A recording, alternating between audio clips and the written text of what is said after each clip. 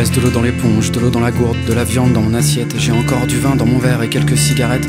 J'en ai encore sous la pédale, il me reste quelques cartouches, quelques coups.